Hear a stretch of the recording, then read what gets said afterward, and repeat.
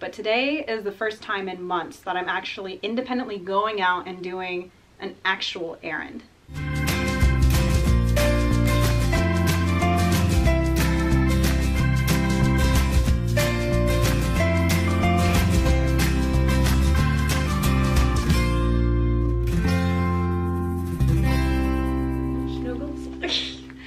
Good Saturday morning, everyone. Today I'm feeling pretty good. And I've been having fun with Hippo. She was, thank you for shoving your nose in my mouth. She was shoving her uh, dinosaur at me all day, so I got on the floor to play with her a bit. You silly dog. Yeah, oh, you like to be scratched right there. So, anyways, Today is an exciting day for me because recently I have been given back my driving privileges with restrictions and I did a quick errand to Walmart to do a grocery pickup the other day. So I order the groceries online and they bring them to the car. But today is the first time in months that I'm actually independently going out and doing an actual errand. And I am so thrilled for this independence. So today I'm going to an eyeglass world, just a place to get my eyes checked to get an updated contact and glasses prescription. And it's nothing too strenuous, but I'm doing it by myself. And when I go out independently, there's a few things I need to do to make sure I'm safe and I have the best possible experience. So first I need to see how I'm feeling in the morning. Do I feel well enough to drive? And today that's a total yes and I'm thrilled because sometimes I do have to cancel plans last minute based on how I'm feeling.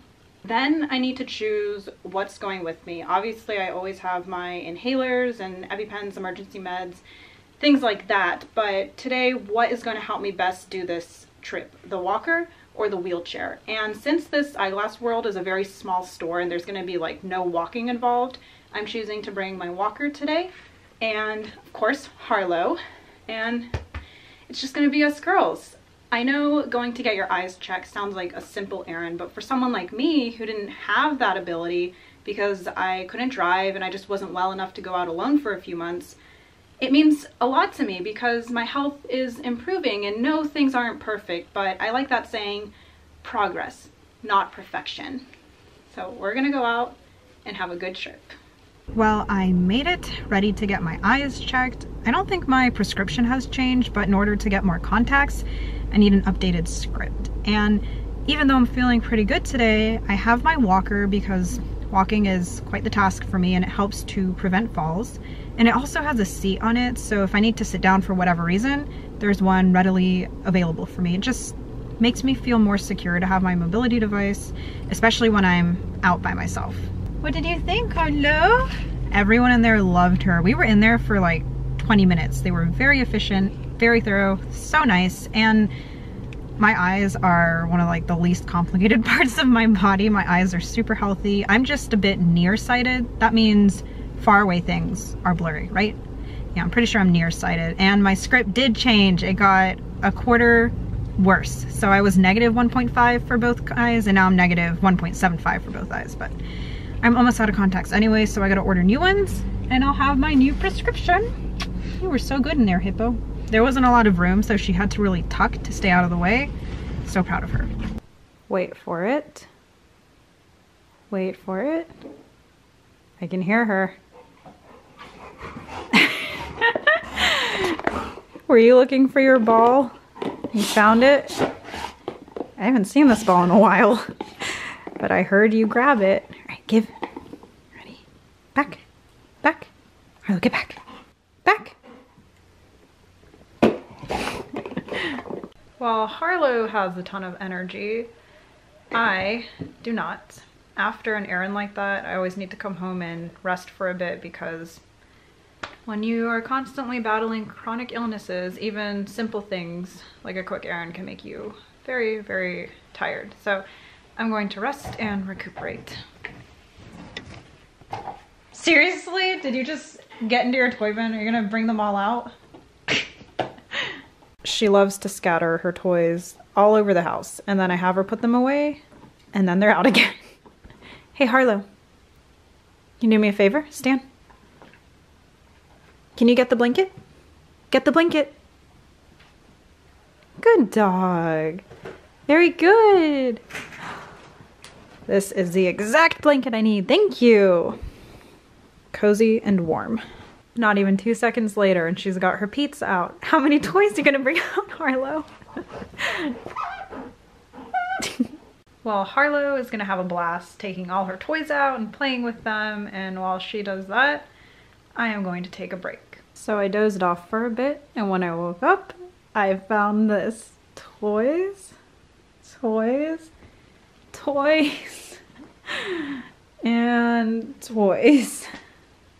You having fun, Hippo? So obviously Harlow is allowed to take out her toys and play with them whenever she wants, but when so many are out and scattered like this, it's a tripping hazard and it's hard for me to get my walker through the house, so I just have her put them away, which is good practice for her retrieval and her cleanup command.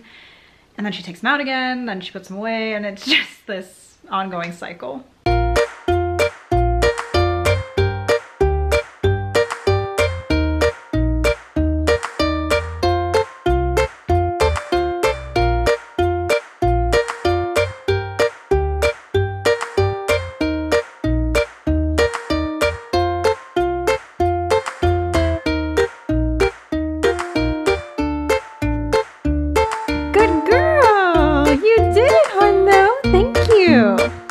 Hooked up to my infusion and we got some packages. This one has blackout curtains and we have the same blackout curtains in our room. I ordered this one for the guest room and these pretty turquoise curtains to match the color theme in here.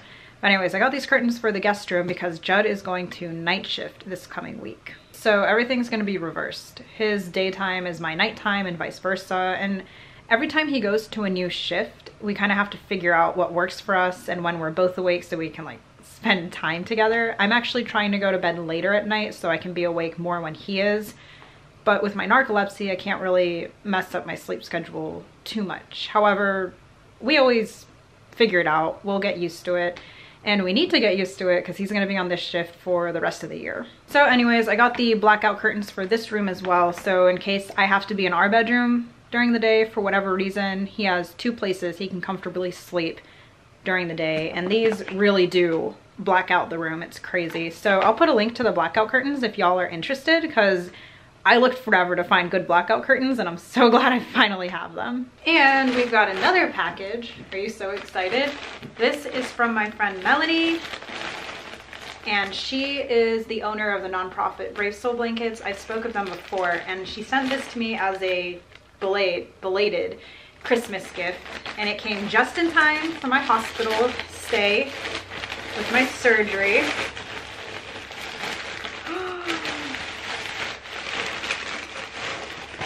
I love it. Oh my gosh. I wish y'all could feel this. It feels so amazing.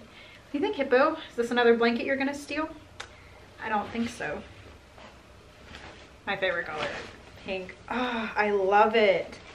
Okay, so this is a special fabric. It's kind of like gauze, so it's not too hot, but keeps you warm still. I love this. Melanie, thank you. Do you like it? Do you like it? Are you so happy? so, Melanie's nonprofit, Brave Soul Blankets, they strive to gift these wonderful handmade blankets to people battling life-altering illnesses and they fund their project by also selling these blankets. So if you want to learn more about Brave Soul Blankets, I'll put a link in the description. Melanie's just an awesome person. She battles her own chronic illnesses and she likes to help others and her blankets are amazing. Hippo likes to steal them. well y'all, I apologize for the terrible camera quality, but I forgot my memory card in my computer, so I can't use my camera, I'm using my phone. But anyways, my mom and I are going on a mother-daughter dinner date. Yeah, we're excited. Well, you know, I mistakenly left the memory card in the computer when my mom and I went out to dinner.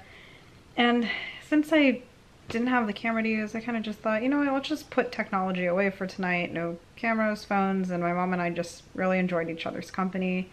We laughed so much and had a great night. I just wanted to treat her to dinner because she's amazing. Just wanted to do something to say thank you a little extra. Anyways, finding a restaurant was a little bit of a conundrum and here's just one example of why my mom is so amazing. she's very patient with me and she doesn't make a big deal out of things. So the first restaurant we went to was a seafood place that my mom has been wanting to try, but being the weekend, Saturday night, it was very busy. The music was loud, and while we were waiting for a table, even though I had my headphones on, I just looked at her and she could tell I was not doing okay with all of the noise, and she just said, that's fine, let's go somewhere else. No big deal. I really appreciated that. Then we went to try an Italian restaurant, but she looked inside and before she even opened the door, she turned around and said, not here.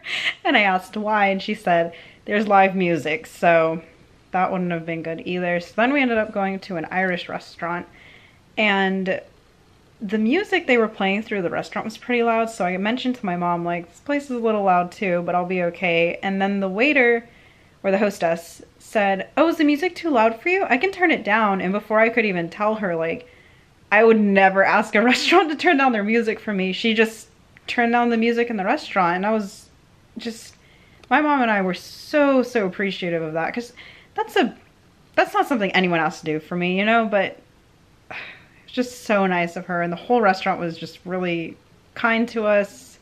Not that places are usually mean, but they just went like above and beyond and we had a great night, enjoyed each other's company, and there's just a lot to be thankful for. Kind people like the hostess who turned the music down, which again, I would never ask a restaurant to do that for me, but it's very nice of her. And my mom, who is patient and kind, and Harlow, who is adorably sleeping already. And I am going to join her. So with that, I will say goodnight and thanks for joining us on our adventure.